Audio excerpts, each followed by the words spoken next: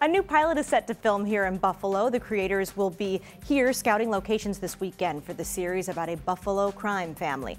Lauren Hall spoke with one of the lead actors in the show, Daniel Baldwin, today.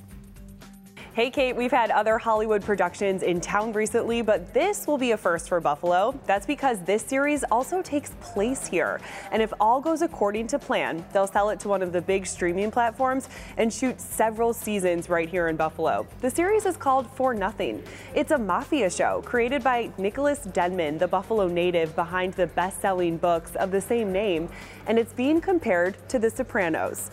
Actor Daniel Baldwin can attest to that. He was on that show and he's set to star in this one as well. Baldwin and his family have strong ties to upstate and central New York. He lives near Syracuse, but Buffalo means a lot to him too, and he's excited to show off the region that he calls home.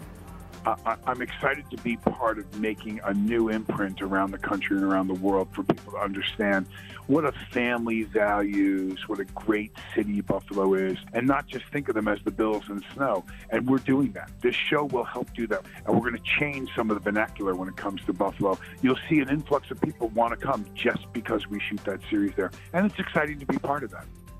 Now, Daniel Baldwin also shares a close friendship with Jim Kelly, and he's hoping that if the series gets picked up, Kelly might even come on and make a cameo too. So there's a lot of possibilities here. But the team behind this says they want to show as much local talent as possible, and that's both in front of and behind the camera. So if you're interested in getting involved, you can find the contact information for the casting director with this story on WGRZ.com. Kate, back to you.